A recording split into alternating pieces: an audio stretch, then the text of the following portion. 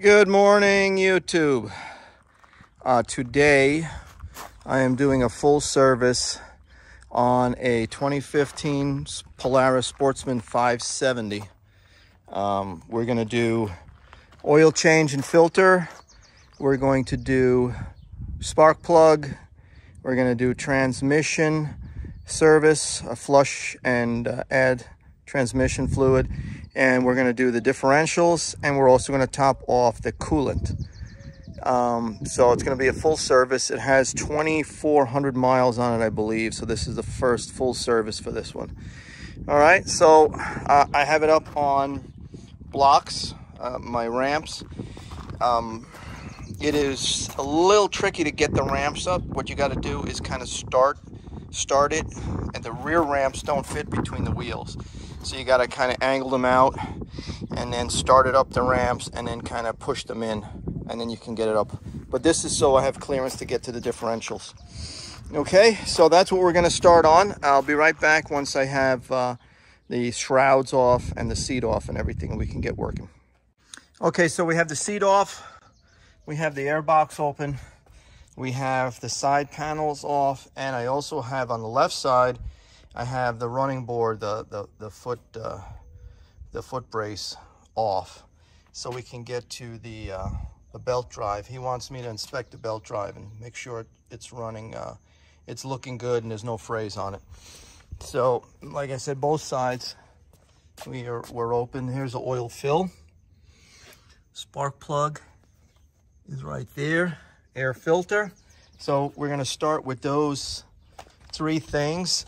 Here's the uh, sides, the side shrouds, the seat, the, uh, the, the running board, and then we have the cover for the, um, for the air filter. Most of the plastic pieces come off with these plastic push pins. You're gonna need a pick to pick out the center piece and then pull the rest out with the, with the pick. Um, the, the, running board is in with um, their uh, T27 hex heads and the um, the the lock nuts are um, seven seven sixteenths. Yeah, so so T twenty seven, T twenty seven, and seven sixteenths, and then some of them that go into the uh, into the rear fender are just in with. Um, they have the uh, brackets on on the rear fender. They have these these uh, fastener brackets, but the um, the ones on the floorboard go in to this metal plate. So those are with with these uh, locking nuts, uh, but they're all T27. Okay, so that's what you need so far. That's the tools you need so far. So I'm going to do the air filter right now, the spark plug, and we'll change the oil.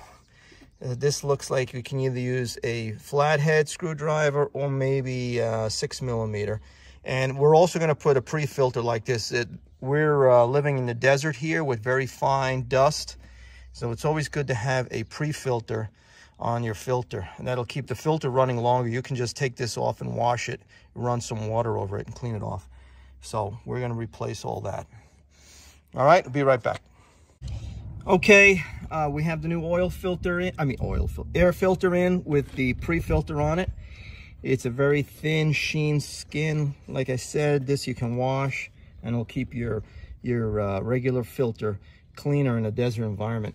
So we have the, um, the spark plug, the, the coil um, is off, not the coil, but the, uh, the element, the element that goes on top of the spark plug. I just wanted to give you, this is the, it's an NGK uh, 95897 95897 MR7F MR7 Frank.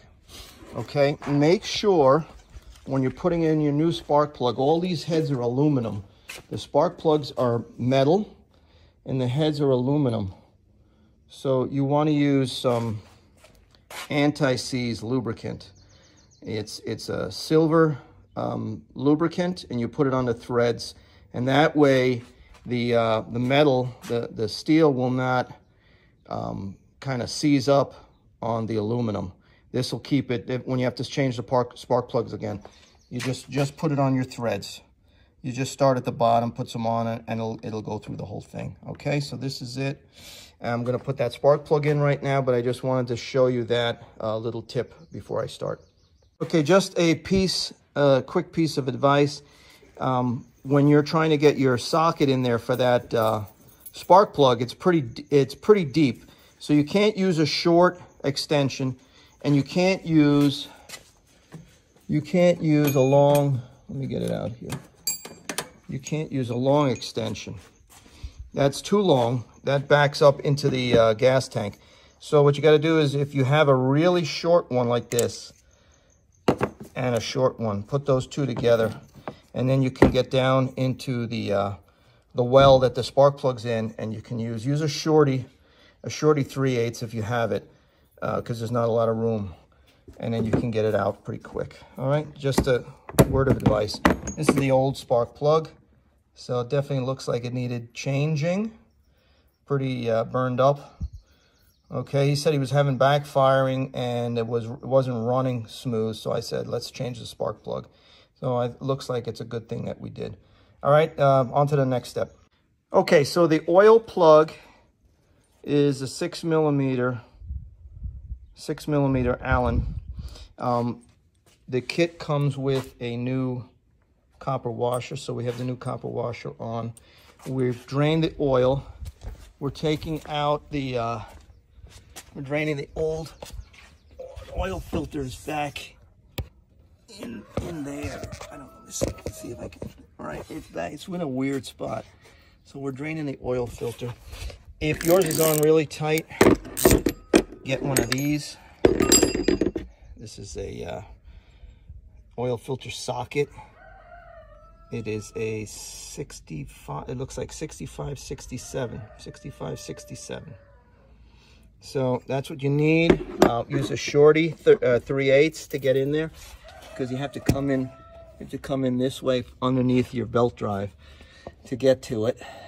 So we're draining there. Oil's already drained and your fill is on this side. I'm just waiting for that. Your fill's over here. I've already cleaned up. This was, of course, because it's down low, this was completely filthy.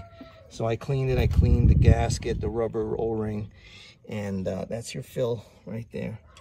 So I'm just waiting for it to completely drain. And then I'm gonna put the new filter on and we're gonna fill up the oil and I'm gonna have to look up to see how much it takes. Be right back. Okay, the oil change is finished. I just wanna go over with you again. So here's the new oil filter. Make sure you put some fresh oil on the O-ring and then uh, hand tighten. Hand tighten that.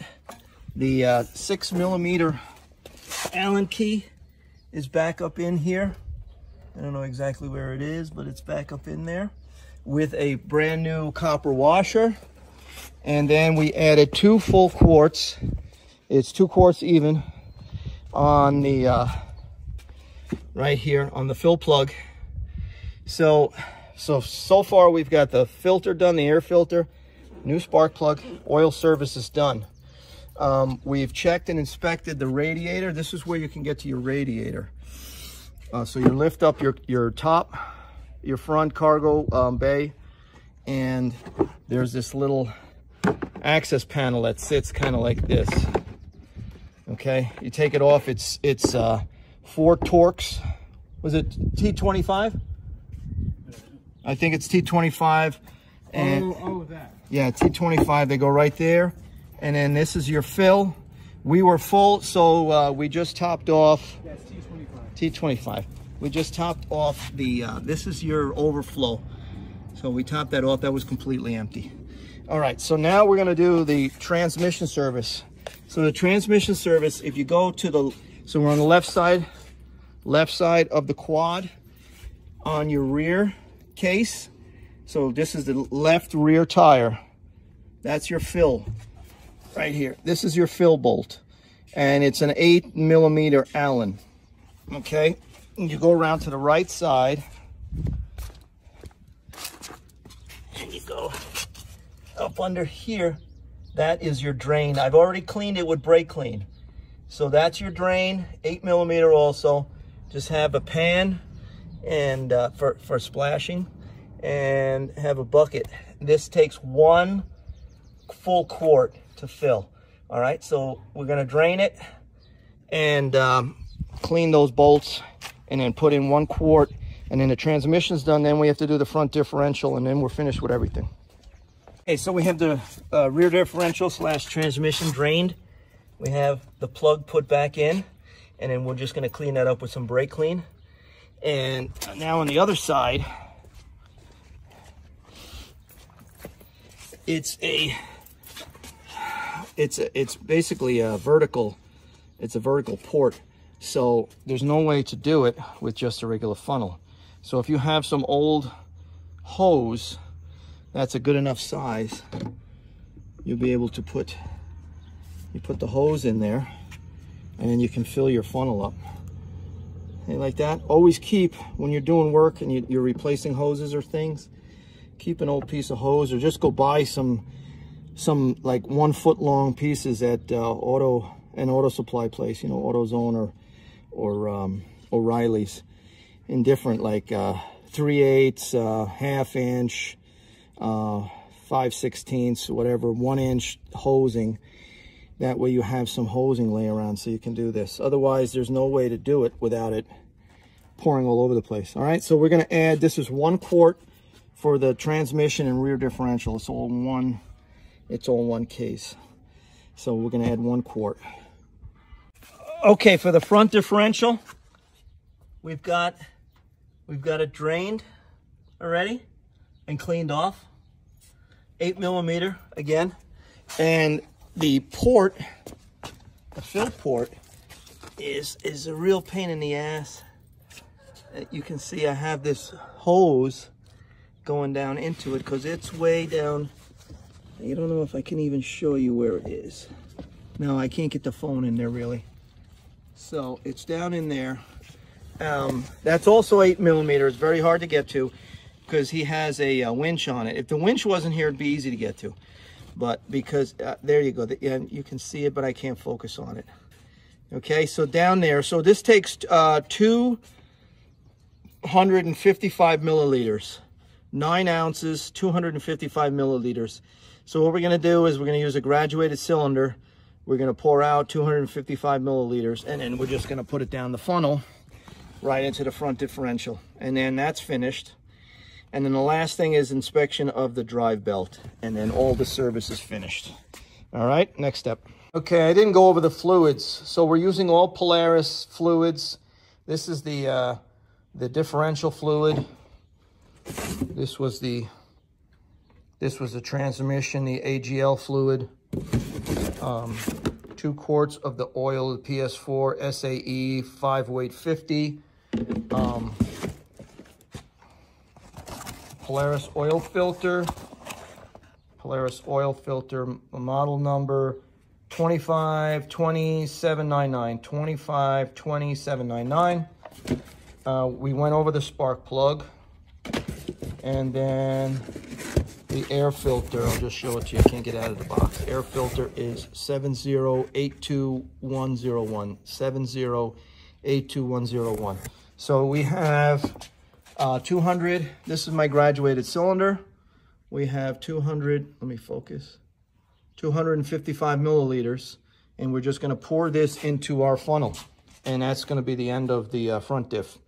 Okay, uh, final part of this service was removing the, the uh, bell shroud to inspect the belt and the clutch and everything. And everything looks good from here. Nice and clean. The belt's in good condition on both sides. So just to recap everything, um, spark plug up here, air filters right here with that extra shroud over it for the desert. We added coolant right here. This is your overflow and the, what do you call it, it's in here. The actual radiator cap is in there. Um, let's go around the other side. We have oil fill here. Remember the um, the what do you call it down in there, right there, is the oil Can't get a good picture right there. Oil filter down there. Drain plug is underneath here. The uh, drain plugs for your rear transmission and your rear differential, uh, rear transmission, your transmission and your rear differential is right here. Fill plug is on the other side, on the left side, which is right there. And then your fill plug is right here for the front differential. Very hard to get to. And your drain plug is up under there. So that's that's everything. So that's oil change and filter, transmission service, front differential, new spark plug, new air filter, uh, topped off the coolant, and then we inspected we inspected the drive belt. So that's a full service. We did that at 2,400 miles. Any questions or comments, leave it down below in the comments section. Mike Machines out.